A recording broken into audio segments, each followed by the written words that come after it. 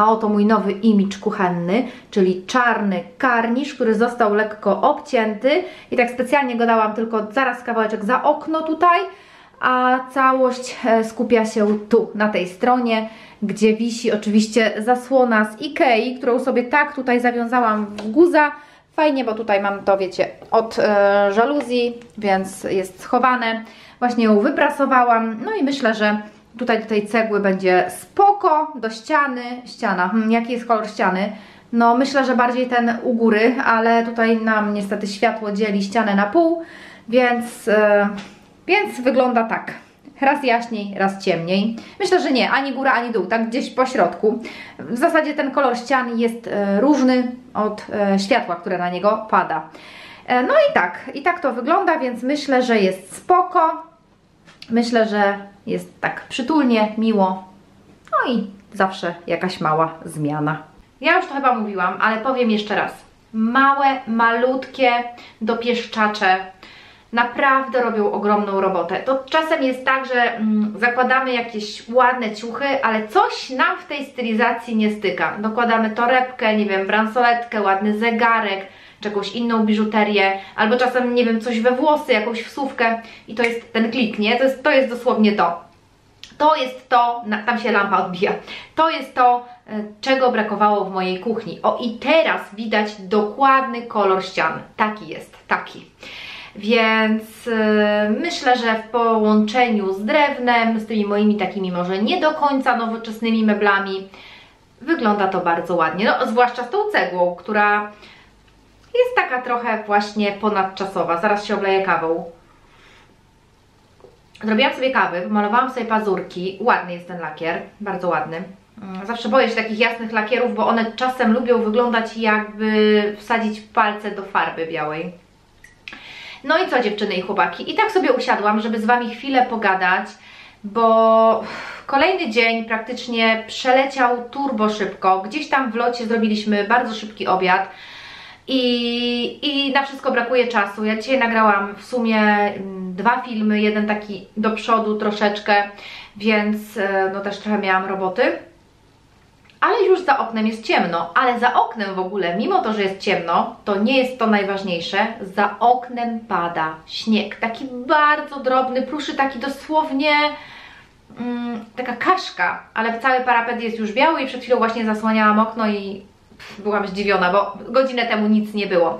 A propos jeszcze moich e, żaluzji, one zawsze wyglądają na takie bardzo ciemne brązowe, jak Wam pokazuję, a one wcale nie są ciemne brązowe, mają piękny, taki ciemny kolor, e, to znaczy nie, właśnie nie ciemny kolor, mają kolor mm, takiego ciemnego beżu, o, coś takiego, to jest taki dosyć ciemny beż, ale absolutnie nie brąz, więc nie wiem czemu, teraz troszeczkę tak bardziej jest ten kolor e, widoczny, o, widzicie za mną koszyk, który ostatnio mm, pokazywałam Wam w Wisku, no i tak, e, malutkie zmiany, wszędzie wymienione kontakty, mm, pięknie wyglądają. Najlepsze było jak e, Artur wymienił jeden, mam dwa kontakty obok siebie do łazienki, wymienił jeden i obok był drugi. I ten stary kontakt, który do tej, wiecie, miałam normalne, zwykłe, jakieś tam proste kontakty, takie były tutaj założone. Ja szczerze mówiąc na to w ogóle uwagi nie zwracałam. I tak ostatnio właśnie tak podchodzę, mówię, co te kontakty takie jakieś, coś mi nie pasuje w tych kontaktach.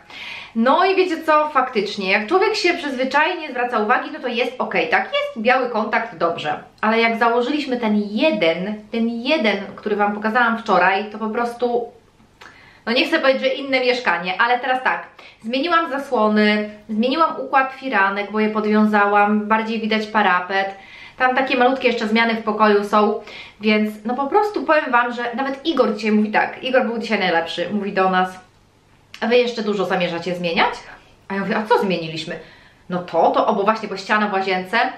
I naprawdę, no łazienka całkiem inna, dosłownie całkiem inna i naprawdę trafiliśmy idealnie z tą cegłą.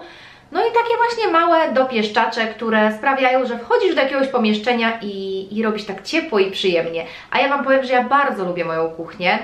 Ona jest jak na kuchnię w bloku, dosyć spora. Jest wąska i długa, ale nie jest to taka wąska kiszka, tylko naprawdę jest tutaj sporo miejsca. Jakby to powiedziała moja babcia, można tańczyć. No, więc zrobiłam sobie kawki i zastanawiam się właśnie nad tym, że może bym podskoczyła do Tediego, a wiecie dlaczego? bo Teddy jest tam e, w tym miejscu, gdzie jest DM.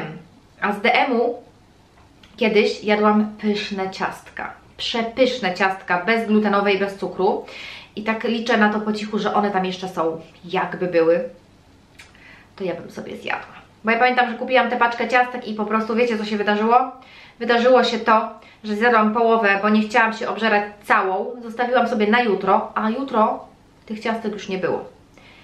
Jak się domyślacie, ktoś je zjadł.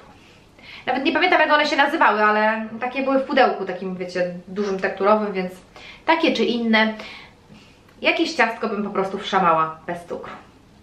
Nos mnie swędzi, znaczy, że prawdę gadam. A chciałam Wam jeszcze powiedzieć tak krótko, żeby się nie rozgadywać i Was nie zanudzać, na temat kolendy. Przypomniała mi się kolenda, tylko teraz nie wiem o której kolendzie powiedzieć. Czy o tej z księdzem, czy o tej z kolędnikami. Bo wiecie co, mm, nie wiem czy tutaj, no nie widziałam w tamtym roku i, i, i nie widziałam w tym roku, ale ja właśnie za moich młodych, młodych, Anka co Ty gadasz? Młodszych lat, młodszych lat, no to, no dobra, jak byłam dzieckiem, nie? Mm, to słuchajcie, każde święta, to była choinka, to były zapachy w domu, to były jakieś tam, wiecie, dania, które u nas się przyrządzało, to było przygotowywanie tych potraw, to, to jest taka, to była taka tradycja i ja to pamiętam. To był ten właśnie śnieg, który taki był, Boże, to był najpiękniejszy śnieg w moim życiu. Chyba już takiego śniegu nigdy nie zobaczę. Ten, który teraz sypie, to nie jest ten śnieg i na pewno zgodzą się ze mną wszyscy z lat 80, 70, czy nawet może jeszcze wczesnych 90 ale mm, ten jest po prostu jakiś taki, no gorszy sort. Tamten skrzypiał i był, ach, cudowny, puszysty. I wiecie co? A właśnie, bo przypomniała mi się jeszcze jedna historia, którą chciałam Wam powiedzieć odnośnie tego mojego wujka niefajnego. Więc teraz nie wiem, jakbyście mogli, to byście wybrali, który temat poruszyć. No to dobra, to ja poruszę ten e, o tych kolędnikach, dobra? A tamte zostawimy sobie może na następne filmy. Jak nie zapomnę, albo jak jak mi nie przypomnicie. E, to mi przypomnicie, znaczy w sensie takim chciałam powiedzieć, że mm, kolędnicy chodzili zawsze po świętach i to było takie dla mnie jako dla dziecka przeżycie, tak jak przychodził do mnie Mikołaj, tak przychodzili kolędnicy. I u nas zazwyczaj puszczało się tych kolędników, to znaczy ja nie pamiętam takiej sytuacji, żeby y, nie zostali wpuszczeni. Pamiętam za to taką sytuację, że został niewpuszczony ksiądz, ale to właśnie o tym chciałam powiedzieć w, tej, w tym drugim temacie. Natomiast mm, kolędnicy to, było, to była taka rozrywka, ja Wam powiem. No, w tamtych czasach mało było takiej rozrywki jak teraz, więc kiedy chodziło się po kolędzie, ja też chodziłam później jako już takie starsze dziecko i powiem Wam, że to był naprawdę dobry interes. To znaczy nie sama, tylko oczywiście z koleżankami i kolegami. Mm, to to było naprawdę takie... Ludzie na to czekali, ludzie się z tego cieszyli. No, po prostu to były inne czasy.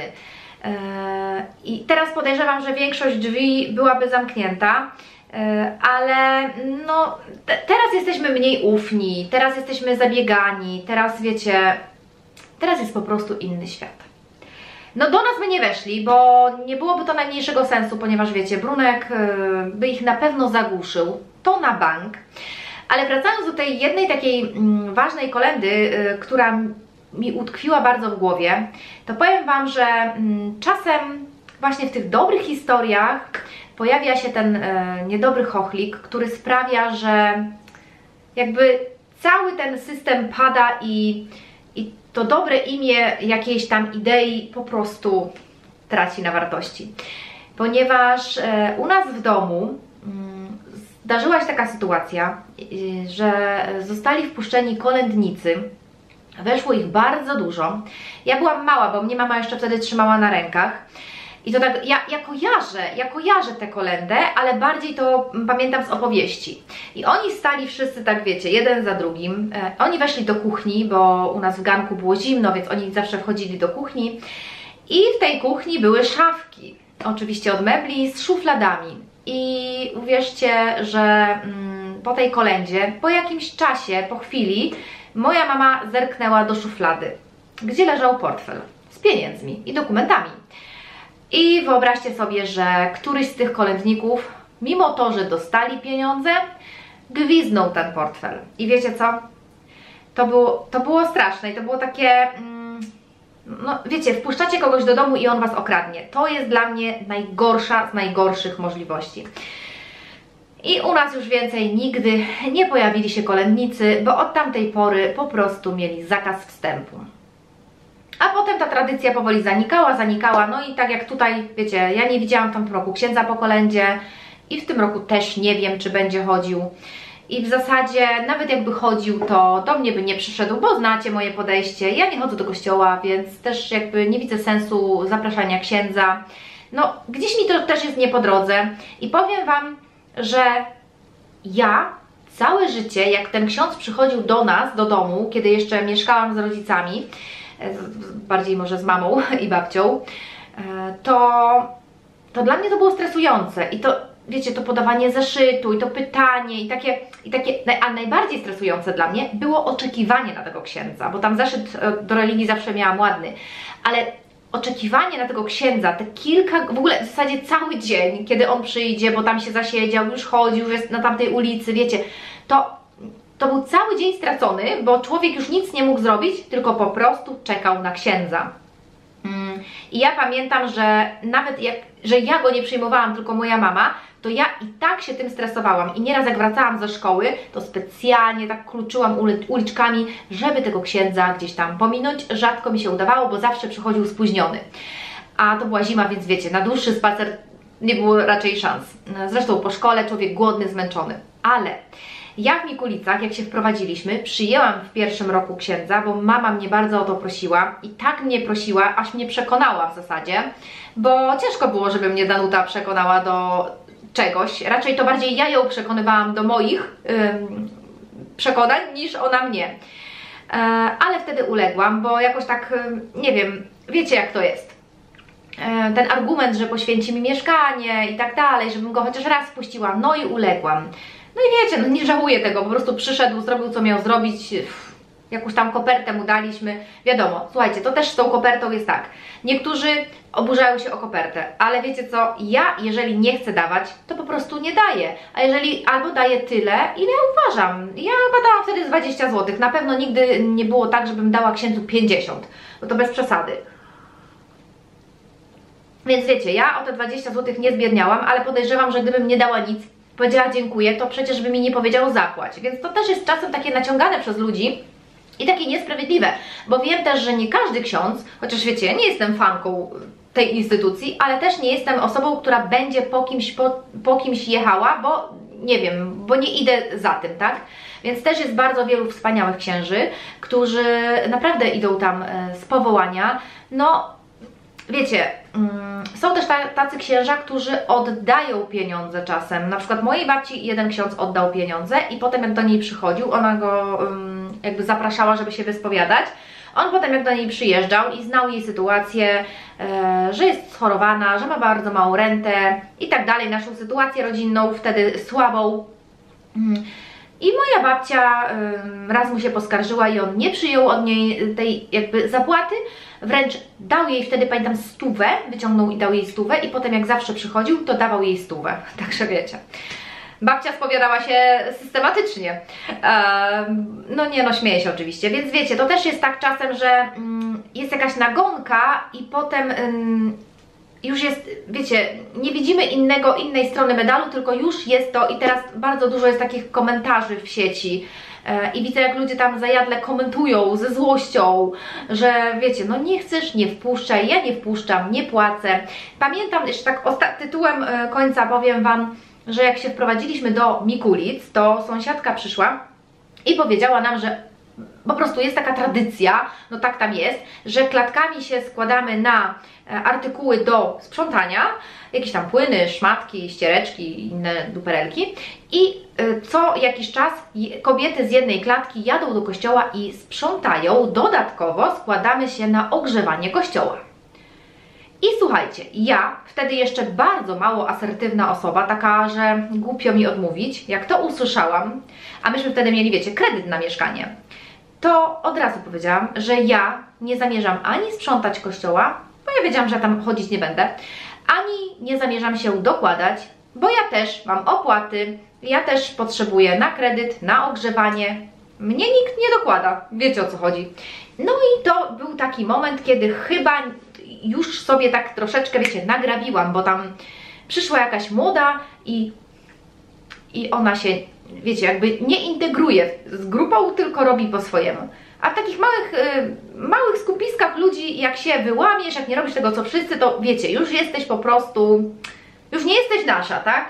Ale ja mimo wszystko trzymałam się swojego zdania i uważam, że to jest bezsensowne, nie zgadzam się z tym, nie, nie zamierzam dokładać i szczerze mówiąc wolałabym naprawdę e, za te pieniądze kupić koce, karmę i zanieść to do schroniska, tam jest wielu, wielu potrzebujących, a ksiądz sobie da radę, bo to z tacy, bo to stąd, bo to ze ślubu, bo to z jakiegoś tam sakramentu.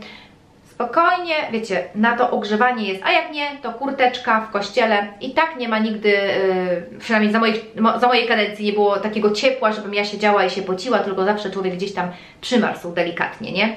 No, także dziewczyny i chłopaki, taki dzisiaj temat. Po świętach zawsze jest kolenda. Okej, więc co? Mm, Jestem bardzo ciekawa Waszych historii, takich właśnie e, związanych z kolędnikami, ale pewnie trudno Wam będzie opowiedzieć e, je w komentarzach, więc no ale jak się uda, jak są takie do napisania, to chętnie poczytam. Myślę, że widzowie też poczytają, bo to są takie, wiecie, fajne, dawne opowieści. Więc e, tak.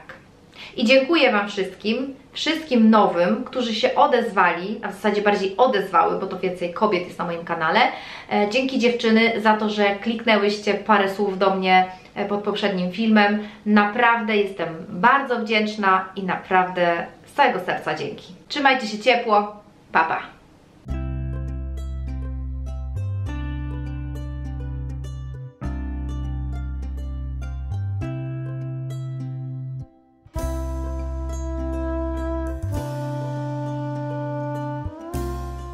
No i spójrzcie, pięknie nas zasypuje. Znowu się robi zima, a my przyjechaliśmy, jak mówiłam wcześniej, do Tediego, ale my tu mamy taki park handlowy, więc jest nie tylko Teddy, ale jest Deals, Biedronka, DM. No i tak jak widzicie, House, Krop, proszę bardzo, Pepco, Sinsei, a nawet można włączyć niskie ceny.